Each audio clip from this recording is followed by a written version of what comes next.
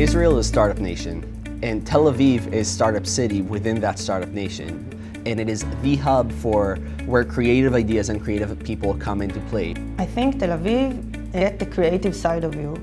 It's a fun, plural city where you can go wherever you want, with whomever you want, and do the things that make you happy and make you creative.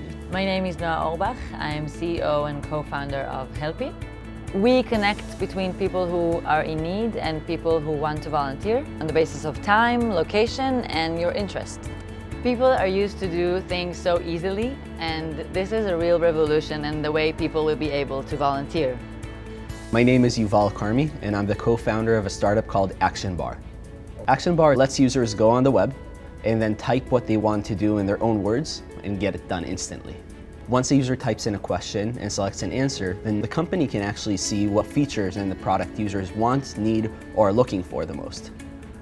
Zen City is a company aiming to improve life in cities. What we do is we provide local governments with an AI-powered dashboard that analyzes citizen feedback and show the city what their citizens care about, what they're talking about, and get the gist of what's going on in real time.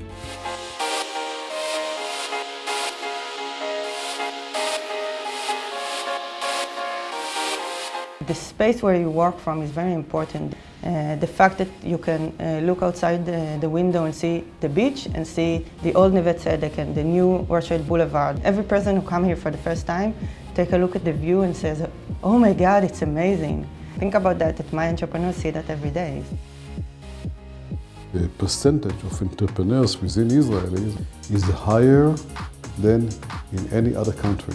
The last year, officially, there were a new 1,400 startups established. Sensors, smart homes, smart cities, autonomous cars, which we think is going to change the world.